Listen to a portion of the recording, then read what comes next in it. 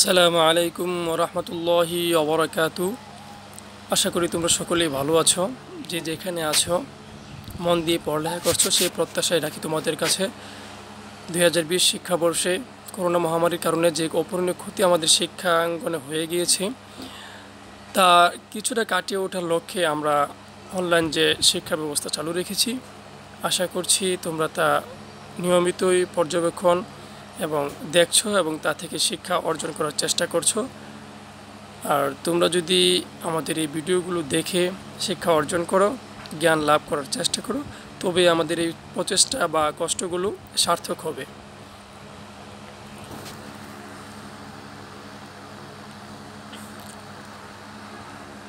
আমরা বিগত ক্লাসে আমাদের জীবনের তথ্য নিয়ে আলোচনা করেছিলাম। আমার দৃঢ় বিশ্বাস, তোমরা সে অধ্যায় খুব ভালোভাবে পড়েছ এবং তা থেকে জ্ঞান আহরণ করার চেষ্টা করেছ। আজকে আমরা আরেকটি নতুন অধ্যায় নিয়ে আলোচনা করব। চলো আমরা সেই সম্পর্কে কিছু ধারণা নেওয়ার চেষ্টা করি। আজকে আমরা যে অধ্যায় নিয়ে আলোচনা করব, তা থেকে আমরা কি শিখতে পারব? আমরা স্ক্রিনে শিখন ফলটা দেখতে পাচ্ছি। প্রথমে আমরা দেখতে পাচ্ছি আবহাওয়া ও জলবায়ুর মধ্যে সম্পর্ক বর্ণনা করতে পারব আমরা। আমরা আরও শিখতে পারব এখান থেকে বায়ু প্রবাহের বৈজ্ঞানিক ব্যাখ্যা দিতে পারব। বিরূপ আবহাওয়া সম্পর্কে বলতে পারব। বাংলাদেশের আবহাওয়া ও জলবায়ু সম্পর্কে বলতে পারব। আবহাওয়া ও জলবায়ুর মধ্যে পার্থক্য করতে পারব। চলো আমরা পরবর্তী একটি স্লাইডে যাই এবং বোঝার চেষ্টা করি। আমরা দেখতে পাচ্ছি বাংলাদেশের মানচিত্র। একই দেশ। বিভিন্ন বিভাগে বিভক্ত, বিভিন্ন জেলায় বিভক্ত, বিভিন্ন থানায় বিভক্ত। বিভিন্ন জায়গা, বিভিন্ন রকম ফল ফ্রুটের জন্য বিভিন্ন রকমের চাষযোগ্য ফসলাদির জন্য বিখ্যাত। বিভিন্ন জায়গায় বিভিন্ন রকমের আবহাওয়া বিরাজ করে। একই দেশ দেশ হওয়া সত্ত্বেও সব জায়গায় একই রকমের ফল বা ফসল একই রকমভাবে আবাদ হয় না। কম বেশি হয়ে থাকে, এটা হচ্ছে জাগার কারণে। এবং সব জায়গায় একই রকম আবহাওয়াটাও বিরাজ করে না, সব জায়গার প্রাকৃতিক পরিবেশটাও একই রকম নয়। আমরা যদি লক্ষ্য করি প্রতিদিন টেলিভিশনে যে খবরটা দেখানো হয়, তাতে যে তাপমাত্রা বা আবহাওয়ার যে খবরগুলো প্রকাশিত হয়, তাতে আমরা দেখতে পারি ময়মনসিংহের তাপমাত্রা একরকম, সিলেটের তাপমাত্রা একরকম, রাজশাহীর তাপমাত্রা একরকম, ঢাকার তাপমাত্রা একরকম, কুমিল্লার তাপমাত্রা একরকম খুলনার তাপমাত্রা ভিন্ন, চিটাগাঙ্গের তাপমাত্রা ভিন্ন, বরিশালের তাপমাত্রা ভিন্ন। এর কারণটা কি? আমরা আজকে এই সম্পর্কে বিস্তারিত জানার চেষ্টা করব। আমরা আরও দেখাই যে কখনো কখনো কখনো রংপুরের বিভিন্ন অঞ্চল বন্যায় তলিয়ে যাচ্ছে, ময়মনসিংহের কিছু অঞ্চল যাচ্ছে, বরিশালের অনেক অঞ্চল বন্যায় তলিয়ে যাচ্ছে, খুলনা, চট্টগ্রাম এইসব অঞ্চলগুলো, কুমিল্লা অঞ্চলগুলো বিভিন্ন সময় বিভিন্ন রকমের দুর্যোগের শিকার হচ্ছে। বিভিন্ন রকমের ঝড় ইত্যাদির শিকার হচ্ছে। এর কারণ কি? বা এগুলো কেন হচ্ছে? আমরা আজকে এই সম্পর্কে বিস্তারিত জানার চেষ্টা করব।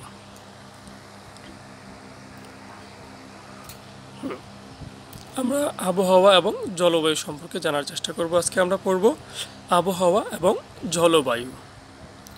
প্রথমে আমরা জানার চেষ্টা করি আবহাওয়া ও জলবায়ু। আবহাওয়া ও জলবায়ু। প্রথমে আমাদেরকে জানতে হবে আসলে আবহাওয়াটা কি? আবহাওয়া কি? আবহাওয়া হলো কোনো নির্দিষ্ট স্থানের কোনো নির্দিষ্ট সময়ে আকাশ ও বায়ুমণ্ডলের সাময়িক অবস্থা। আমি আবারও বলছি, আবহাওয়া হলো কোনো নির্দিষ্ট সময়ে কোনো নির্দিষ্ট স্থানের আকাশ ও বায়ুমণ্ডলের সাময়িক অবস্থা। অর্থাৎ আবহাওয়াটা যে কোনো মুহূর্তে পরিবর্তন হতে পারে। আবহাওয়াটা যে কোনো মুহূর্তে পরিবর্তন হতে পারে। এখন রোদ হচ্ছে, হঠাৎ করে বৃষ্টি শুরু হয়ে যেতে পারে। এটি হচ্ছে আবহাওয়া। অর্থাৎ যে কোনো মুহূর্তে সে পরিবর্তন হয়ে যাবে। পরিবর্তন হতে পারে।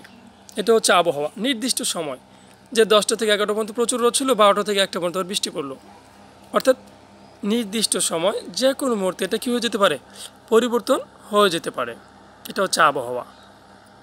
আমরা এই জন্য দেখতে পাই দেশের বিভিন্ন জায়গায় বিভিন্ন রকমের আবহাওয়া বা দিনের বিভিন্ন সময় বিভিন্ন রকমের আবহাওয়া বিরাজ করে। আমরা হঠাৎ করে দেখতে পাই ঢাকা শহরে বৃষ্টি হচ্ছে খবরে দেখতে পাচ্ছি। কিন্তু আমাদের অঞ্চলে বৃষ্টি নেই। কিংবা আমাদের অঞ্চলে বৃষ্টি হচ্ছে, ঢাকা শহরের দিকে বৃষ্টি নেই। তো এটা হচ্ছে আবহাওয়া, এটা যে কোনো মুহূর্তে পরিবর্তন হতে পারে। আমরা এবার জানার চেষ্টা করব জলবায়ু সম্পর্কে। জলবায়ু হলো কোনো স্থানের বহু বছরের আবহাওয়ার সামগ্রিক অবস্থা বা গড় অবস্থা। আমি আবারও বলছি, জলবায়ু হচ্ছে কোনো স্থানের বহু বছরের আবহাওয়ার সামগ্রিক অবস্থা বা গড় অবস্থা।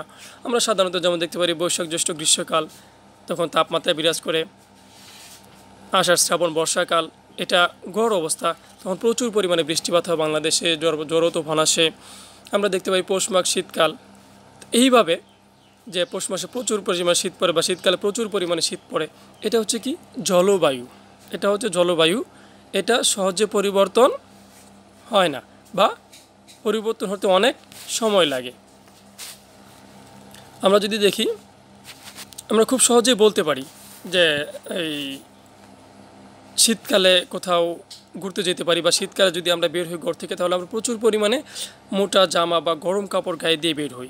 কারণ আমরা বুঝতে পারি এখন শীত চলতেছে, তাপমাত্রা অনেক নিম্নে থাকে। আর গরমকালে যখন আমরা ঘর থেকে বের হই তখন স্বাভাবিকভাবে আমরা স্বাভাবিকভাবে আমরা হালকা কাপড় চোপড় বা কম কাপড় চোপড় পরিধান করে ঘর থেকে বের হই। কারণ আমরা বুঝতে পারি বা আমরা জানি, আগে থেকে আমরা জানি এটা বর্ষাকাল গরমকাল, এখানে গ্রীষ্মকাল বা বর্ষাকাল, এখানে প্রচণ্ড তাপমাত্রা বিরাজ করবে বেশি জামা কাপড় গায়ে দিলে আমরা সমস্যার সম্মুখীন হতে পারি বা গরম লাগবে, ঘাম ঝরবে। তাই আমরা কি করি? গরম কাপড় পরিধান করি। আবার শীতকালে আমরা জানি এটা আমরা পূর্ব অভিজ্ঞতা থেকে বলতে পারি, এটা হচ্ছে জলবায়ু। জলবায়ুর ধারণা থেকে আমরা বলতে পারি যে শীতকালে গিয়ে প্রচুর শীত থাকবে, সেখানে জামা কাপড় বেশি করে পরিধান করতে হবে। এটা, বর্ষাকালে বের হলে আমরা ছাতা নিয়ে বের হওয়ার চেষ্টা করি, কারণ বৃষ্টি পড়তে পারে যে কোনো মুহূর্তেই। বৃষ্টি পড়তে পারে, এটা হচ্ছে কি আমাদের পূর্ব অভিজ্ঞতা। তাহলে, আর আবহাওয়াটা কি? এখন আমি এখান থেকে বের হলাম, রাস্তায় বের হওয়ার সাথে সাথে হচ্ছে কি, এই যেমন এখানে চিত্র দেওয়া আছে কি আবহাওয়া এবং জলবায়ু। আসলে চিন্তার বিষয়টা, এটা অনেকের কাছে বিভিন্ন রকম সমস্যা লাগে যে আবহাওয়া এবং জলবায়ুটা আসলে কি বুঝে উঠতে পারে না। আমি আবারও বলছি, দেখো, আবহাওয়াটা হচ্ছে কি, তুমি ঘর থেকে বের হয়েছো, সুন্দর পোশাক পরিধান করে ঘর থেকে বের হয়েছো, সুন্দর পোশাক পরে ঘর থেকে বের হয়েছো, রাস্তায় উঠছো, সাথে সাথে ধুমধুম করে বৃষ্টি পড়া শুরু হয়ে গেছে, বৃষ্টি পড়া শুরু হয়ে গেছে। এটা হচ্ছে কি, তুমি সুন্দর আবহাওয়া, সুন্দর আকাশ, পরিষ্কার পরিচ্ছন্ন আকাশ দিকে ঘর থেকে বের হয়েছো, কিন্তু বৃষ্টি শুরু হয়ে গেছে। এটা হচ্ছে কি, আবহাওয়া? যে কোনো মুহূর্তে পরিবর্তন হয়ে যেতে পারে। এটা হচ্ছে কি, আবহাওয়া। এটা হচ্ছে যে কোনো মুহূর্তে পরিবর্তন হতে পারে। আর জলবায়ুটা কি? জলবায়ুটা শীতকাল। আমরা জানি এখানে শীত করবে, শীত থাকবে। সেজন্য আমরা কি সুন্দর সুন্দর পোশাক পরিধান করে বা যা মোটা জামা কাপড় গায়ে দিয়ে তারপর ঘর থেকে বের হই। কিংবা আমরা কোথাও ঘুরতে যাব, বিশেষ করে স্কুল থেকে শিক্ষা সফর বা অন্যান্য বিভিন্ন অনুষ্ঠানগুলোর জন্য শীতকালটা খুবই উপযুক্ত থাকে। রাস্তাঘাটগুলো ভালো থাকে, বৃষ্টি থাকে না, ঘোরাফেরা করা যায় বা ভ্রমণের জন্য উপযুক্ত সময়। এটা আমরা কি করি? পূর্ব অভিজ্ঞতা থেকে বা জলবায়ুর ধারণা থেকে আমরা এটা বলতে পারি। অর্থাৎ আবহাওয়া যে কোনো মুহূর্তে পরিবর্তন হবে আর জলবায়ু সহজে বা যে কোনো মুহূর্তে পরিবর্তন হবে না। আমরা এখন জানার চেষ্টা করব বায়ু চাপ ও বায়ু প্রবাহ নিয়ে। বায়ু চাপ ও বায়ু প্রবাহ নিয়ে।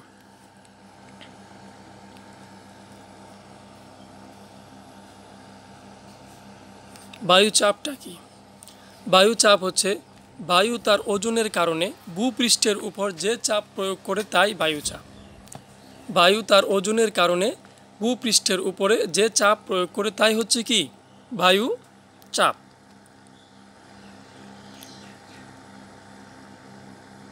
এবার আমরা জানব বায়ু প্রবাহ সম্পর্কে। বায়ু প্রবাহটা কি? বায়ু প্রবাহ হলো বায়ুর উচ্চচাপ অঞ্চল থেকে নিম্নচাপ অঞ্চলে প্রবাহিত হওয়াকে বায়ু প্রবাহ বলে। আবারও বলছি, বায়ুর উচ্চচাপ অঞ্চল থেকে নিম্নচাপ অঞ্চলে বায়ু প্রবাহিত হওয়াকে বায়ু প্রবাহ বলে। অর্থাৎ আমরা যদি লক্ষ্য করি, দেখতে পারব, দিনের বেলায় দিনের বেলায় ভূপৃষ্ঠ, অর্থাৎ জমিন বা ভূপৃষ্ঠ যেটা আছে এখানে রৌদ্র প্রচুর পরিমাণে পড়ে, যার কারণে এখান থেকে রৌদ্র প্রচুর পরিমাণে থাকার কারণে বা রোদের তাপ অতিরিক্ত হওয়ার কারণে এখানে বায়ুতে যে জল থাকে, বায়ুতে যে জলীয় বাষ্প, বায়ুতে যে জলটা থাকে সেটা জলীয় বাষ্প হয়ে, তাপের কারণে জলীয় বাষ্প হয়ে এটা অধিকতর হালকা হয়ে, সেই বাতাসটা বেশি হালকা হয়ে এটা উপরের দিকে উঠে যায়। আবার দিনের বেলায় খুব সমুদ্র পৃষ্ঠে তাপমাত্রা কম থাকার কারণে সমুদ্র পৃষ্ঠে ভূপৃষ্ঠের তুলনায় তাপমাত্রা কম থাকার কারণে সেখানে উচ্চচাপের সৃষ্টি হয়। কীভাবে? সেখানে বায়ুতে বা বাতাসটা জলের সাথে মিশে মিশে, বাতাসটা জলের সাথে মিশতেছে ঢেউয়ে ঢেউয়ে জলের সাথে মিশতেছে, এতে করে কি হচ্ছে? সেখানে বায়ুতে জলের পরিমাণটা অধিকতর হয়ে যাচ্ছে বা বেশি হয়ে যাচ্ছে। বায়ুতে জলের পরিমাণটা বেশি হয়ে যাচ্ছে এবং সেখানকার বাতাসটা ভারী হয়ে যাচ্ছে। সেই বাতাসটা ভারী হয়ে সমুদ্র পৃষ্ঠে বা নিচের দিকে নেমে আসতেছে, উপর থেকে নিচের দিকে নেমে আসতেছে এবং সেই এলাকায় চাপ প্রয়োগ করতেছে। আর ওই এলাকায় চাপ প্রয়োগ করার কারণে ওই এলাকার সমস্ত বায়ুগুলো পাশাপাশি বায়ুদেরকে চাপ প্রয়োগ করতেছে। আর এটা যখন ভূপৃষ্ঠে আসতেছে, তো ওই বায়ুর তুলনায় সমুদ্র পৃষ্ঠে যে বায়ুটা আছে, সেই বায়ুটার ওজনটা বেশি হওয়ার কারণে সেটা নিচের দিকে নেমে আসতেছে। নিচের দিকে নেমে এসে সেটা চাপ প্রয়োগ করতেছে। আর সেই চাপটা যেহেতু ভূপৃষ্ঠে বেশি পরিমাণে রোদ পড়ার কারণে বায়ুটা হালকা হয়ে গিয়েছে, বায়ু থেকে জলটা শুষে নিয়েছে রোদে, তাই এই বায়ুটা উপরে উঠে যাচ্ছে আর তখনই বায়ুগুলো ভূপৃষ্ঠে চলে আসতেছে। অর্থাৎ বায়ু যে প্রবাহিত হচ্ছে, উচ্চচাপ অঞ্চল থেকে সমুদ্র পৃষ্ঠ থেকে ভূপৃষ্ঠের দিকে বায়ুটা চলে আসতেছে। আবার রাত্রেবেলা যদি দেখি, সেটা আবার উল্টো। রাত্রেবেলা ভূপৃষ্ঠ খুব ঠান্ডা থাকে, তখন এখানকার অঞ্চলের বায়ুগুলো ভূপৃষ্ঠ, সমুদ্রপৃষ্ঠে যায়। এটা হচ্ছে অর্থাৎ বায়ুর উচ্চচাপ অঞ্চল থেকে নিম্নচাপ অঞ্চলে প্রবাহিতকে বায়ু প্রবাহ বলা হয়।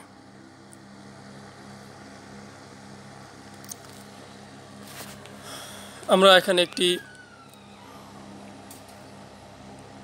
গ্লাস দেখতে পাচ্ছি বা কাপ দেখতে পাচ্ছি, গরম পানির কাপ। গরম পানি দেখতে পাচ্ছি মূলত। গরম পানি, আমরা আরও একটি চিত্র দেখব। এখন আমরা দেখতে পাচ্ছি বালি। বালি দেখতে পাচ্ছি। এখন তোমাদের কাছে আমার প্রশ্ন হচ্ছে, আসলে এখানে বালি এবং পূর্বে দেখানো কাপ, পানি অর্থাৎ পানি এবং বালি, এই দুটি যদি আমরা গরম করতে দিই একসাথে একসাথে রোদে দিই বা একসাথে চুলাই দিই, যদি আমরা গরম করি, তাহলে কোনটি আসলে আগে গরম হবে? চিন্তা করে দেখো তোমরা। এখানে বালি এবং হচ্ছে পানি, এই দুইটা জিনিসকে যদি আমরা একই সাথে গরম করতে দিই, কোন জিনিসটা আসলে আগে গরম হবে এবং আগে ঠান্ডা হবে? কোনটা আগে গরম বা আগে ঠান্ডা হবে? আশা করি তোমরা এটা বাড়িতে করে দেখবে। এখন আমরা দেখতে পাচ্ছি বা বলে দিচ্ছি আমি যে আসলে সূর্যের আলোতে রাখার পরে দেখা যাবে যে বালির ট্রেটি খুব দ্রুতগামীতে গরম হয়েছে। পানির ট্রেট বা পানির অপেক্ষা দেখা যাবে কি? বালির অপেক্ষা, বালির ট্রেটি পানির ট্রে পানির ট্রের আগে গরম হয়েছে। আবার ছায়াতে যখন রাখা হবে, তখনও দেখা যাবে একই অবস্থা। বালিটা আগে ঠান্ডা হয়েছে, পানিটা পরে ঠান্ডা হবে। পানিটা পরে ঠান্ডা হবে। আমরা এখান থেকে বলতে পারি যে, বালি বা মাটি পানি অপেক্ষা দ্রুত গরম হয় এবং দ্রুত ঠান্ডা হয়। বালি বা মাটি পানি অপেক্ষা দ্রুত গরম হয়ে যায় এবং দ্রুতই ঠান্ডা হয়ে যায়। আমরা এখন আলোচনা করব উচ্চচাপ ও নিম্নচাপ নিয়ে। উচ্চচাপ ও নিম্নচাপ নিয়ে। উচ্চচাপ এবং নিম্নচাপ নিয়ে আলোচনা করার চেষ্টা করব আমরা এখন। আসলে উচ্চচাপটা কি? যার কিছুটা ধারণা আমি আগে দিয়েছি, বায়ু, বায়ুর উচ্চচাপ ওখান থেকে। বিস্তারিত আমরা এখন আলোচনা করার চেষ্টা করব ইনশাল্লাহ তালা আমরা এখানে দেখতে পাচ্ছি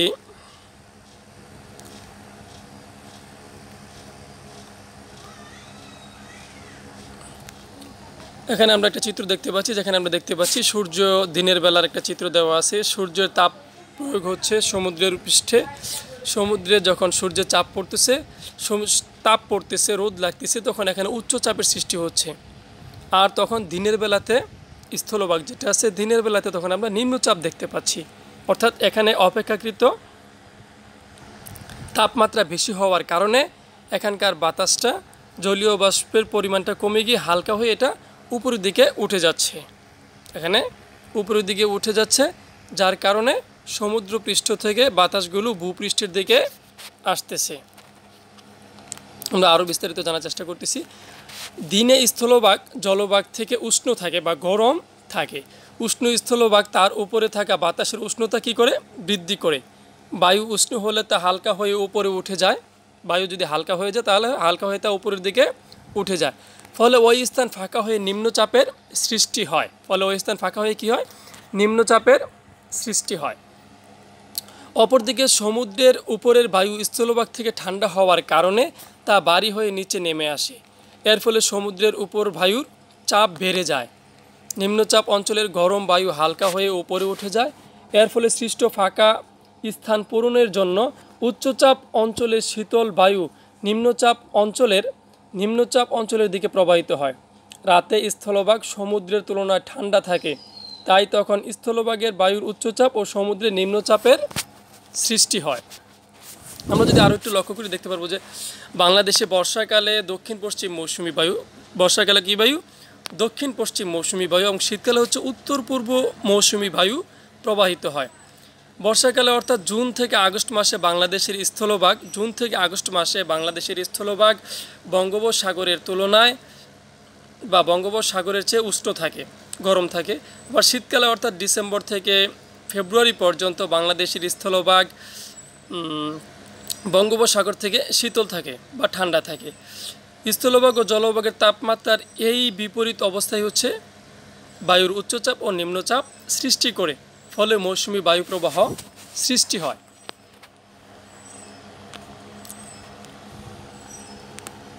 আমরা এখানে প্রচণ্ড গ্রীষ্মকালীন প্রচণ্ড তাপমাত্রা দেখতে পাচ্ছি।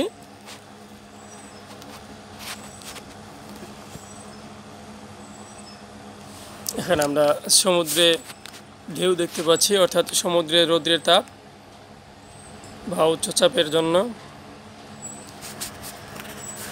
আমরা শীতকালের একটি চিত্র দেখতে পাচ্ছি কুয়াশার কারণে দেখা যাচ্ছে না।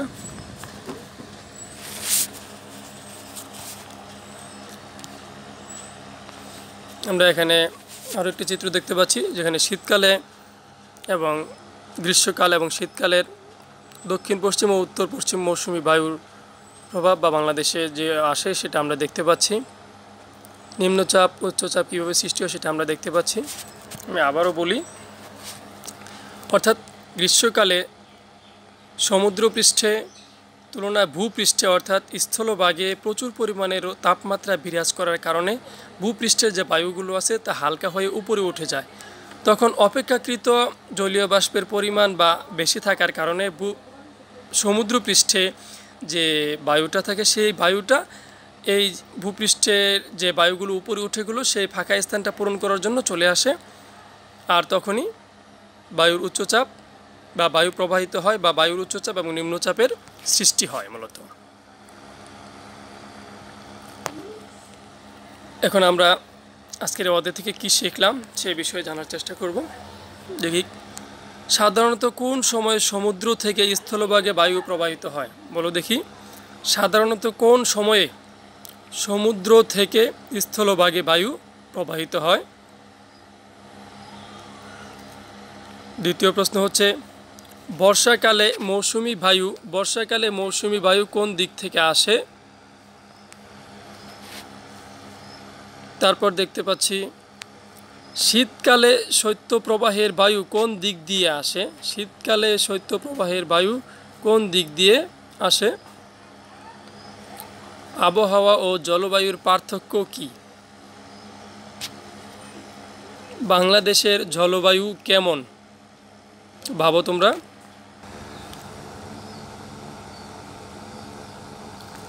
চলো আমরা পরবর্তী স্লাইডটিতে যাই। বাড়ির কাজ দিব এখন তোমাদেরকে আমি।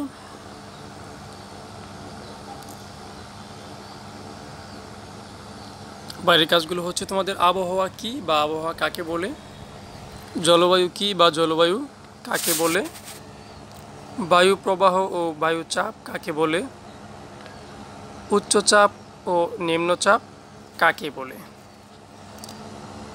সবগুলোর উত্তরই মোটামুটিভাবে আমার এই স্লাইডগুলোতে দেওয়া আছে। তারপরেও যদি তোমাদের বিশেষ করে উচ্চচাপ এবং নিম্নচাপ বুঝতে যদি কোনো সমস্যা হয় বা বায়ু প্রবাহ বায়ু চাপ বুঝতে যদি সমস্যা হয়, আবহাওয়া, জলবায়ু যদি কারও বুঝতে আরও সমস্যা হয়ে থাকে, তোমরা আমাকে জানানোর চেষ্টা করবে ফোনের মাধ্যমে বা কমেন্টসের মাধ্যমে। আমি অবশ্যই অবশ্যই তোমাদের প্রশ্নগুলোর উত্তর দেওয়ার চেষ্টা করব। আল্লাহ তালা তোমাদের সকলকে সপরিবারে সুন্দর, সুস্থভাবে সুন্দর জীবনযাপন করার তৌফিক দান করুক। এই বলে আজকের মতো শেষ করছি এখানে। আসসালামু আলাইকুম রহমতুল্লাহি বরাকাতু সবাইকে ধন্যবাদ।